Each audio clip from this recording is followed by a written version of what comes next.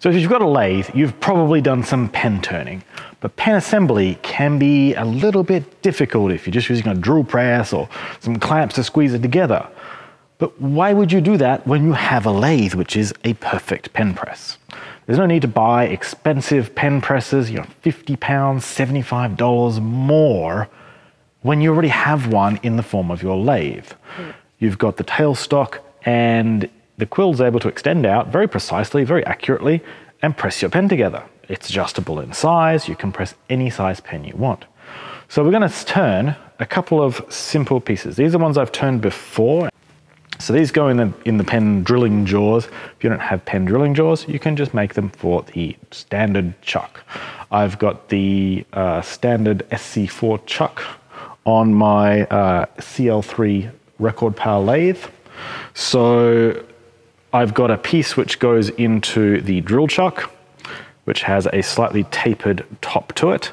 You could turn this if you have, if you don't have a drill chuck, you could turn this to fit straight into the Morse taper of the tailstock. And I have another piece which is turned to fit into the pen jaws or chuck. So let's make one of these. It's super simple, very easy.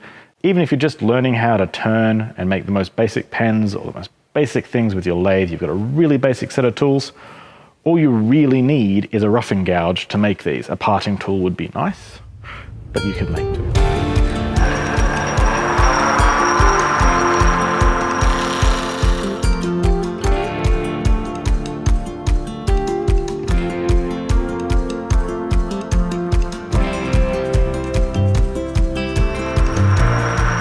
There we go, we've got this turned down now. It's smooth. Turn a shaft back here, which will go into my drill chuck.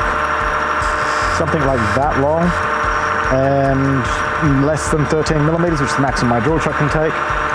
We'll have a end there. That will be our block for pressing into the chuck. The chuck pieces are going to stay as they are. That end will be there. And I'll just cut it off back here and waste all this material in between.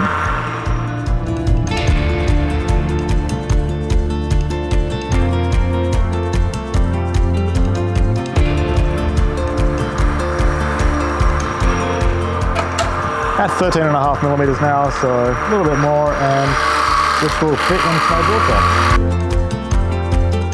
Okay, that will fit into the drill chuck once I part it off. In the meantime, we'll start parting this side.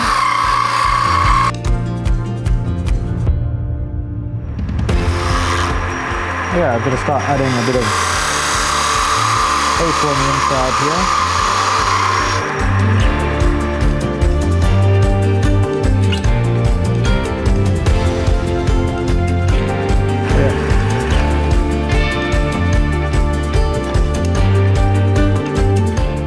So that part's free. I'll cut this off and then turn around and put it on the uh, drill chuck in the headstock finish up. But for now, we'll push into this bit and make the matching piece.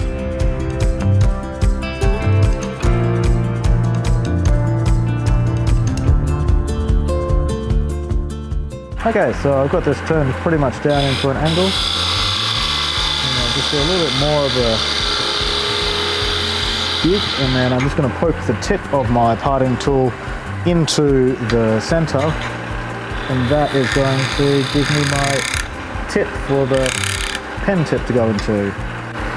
So there we go. That's pretty much it, really. Super easy to turn. All we need to do when we want to make a pen is simply mount this into the same chuck. So we simply number this one as number one and that will line up with jaw number one, so we're always in the same spot, so it's always concentric. We mount the other half into the drill chuck, and that will press it together.